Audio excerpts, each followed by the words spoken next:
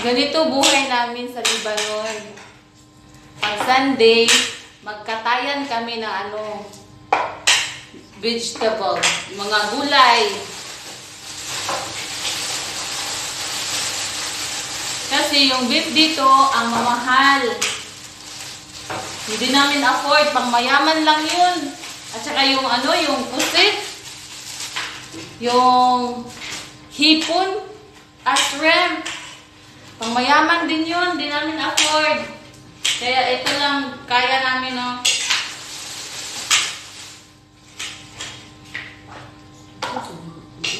Uy, serious kay Kuskabot? Sino no? Serious kay Elena!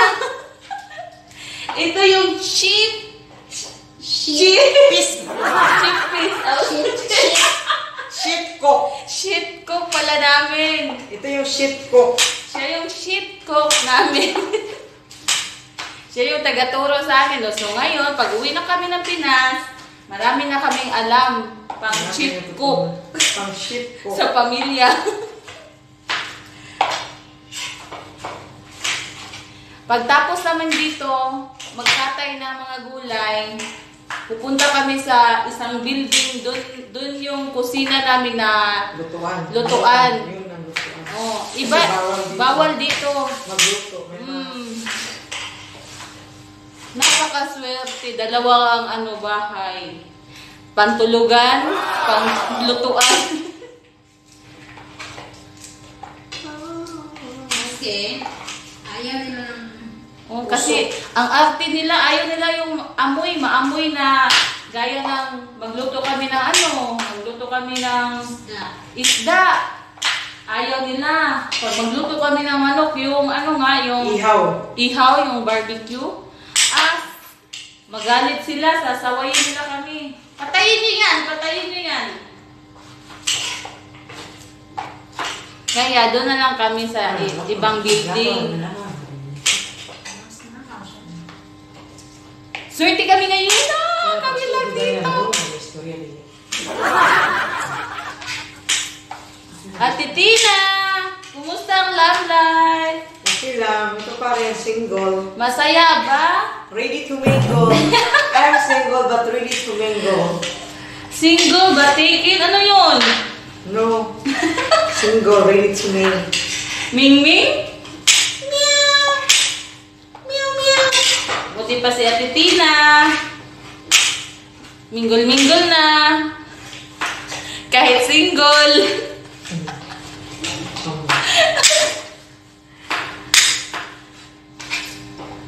Nang! Parang antok ka mag ano na. Naantok. Kulang na nahiwain yung ano mo. Tag-asa sa dahil. eh, tag-asa sa daw. Tag-asa sa daw. Ma- Madumi ka mga maskino. Mubo man pagkita no sa ulo nito. Ah, sa Hindi ulo. mo mago. Oo. Wala ako patagas yun. Nakuburot siya. Sabi mo na ko. Alam niyo ba yung... Mag- magkano yun?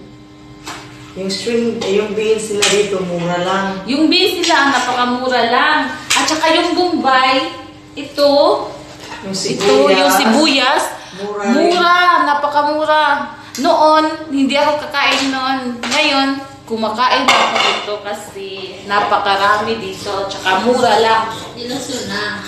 Lilason, yung, ah, sa, Ano na, yung... Ay, ka muna, loading ako ngayon eh. Kasi galing ako nag ano, nosebleed ako sa kakasalitan ng... nag-dusblit siya kasi love, love, love, love. Ah, Loading ako kasi sa kakaisip kasi yung ano ko, utak ko, marami ng virus. Anong klaseng virus? Pagmamahal o pag mingle-mingle o single-single? Virus sa kakaisip ng mga problema. Anong klaseng problema? Problema, wala tayong pera, mawi meron, masari. meron. Meron. Milyon-milyon nga yung pera natin, oh. Libo-libo. Wala mo kwenta. Pera dito, napakadami. Mayaman tao dito, lalo na mga Pinay, ang yaman. Kasi milyon-milyon eh.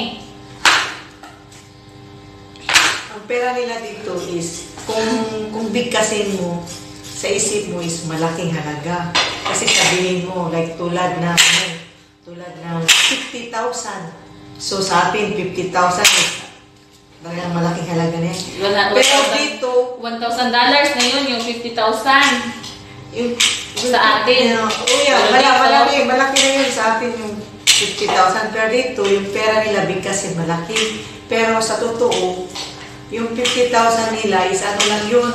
Kung iisipin, parang $5 lang. Magkano lang yung $5? Di ba? Is 250 kung sa, sa atin, kung i-convert sa atin sa Pilipinas. Pero dito sa kanila, bigkasin mo napakalaki. Lalo na pag sinabing may pera ka, milyon. Eh yung milyon dito, kung sa dollar lang yan, ano lang yan? Ngayon, $100? Is $100 lang. Magkano lang sa Pinas? I-convert sa Pinas. Ano yun? 5,000 lang.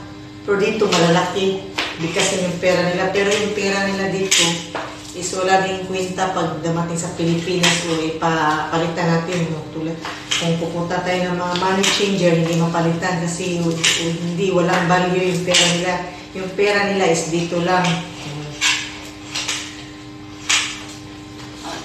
Ikat.